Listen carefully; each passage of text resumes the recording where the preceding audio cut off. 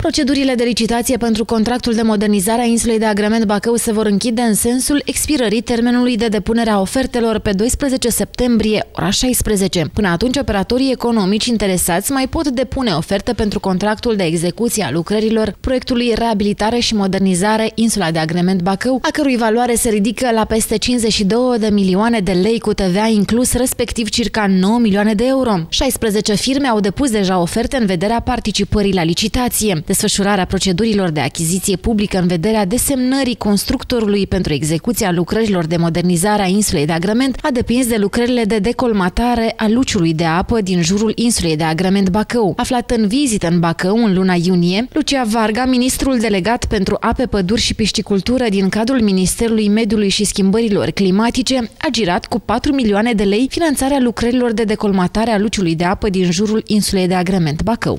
pe de o parte, pentru a face posibilă mai, mai bună tranzitarea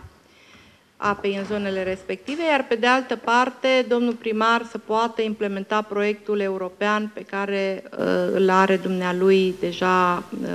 câștigat.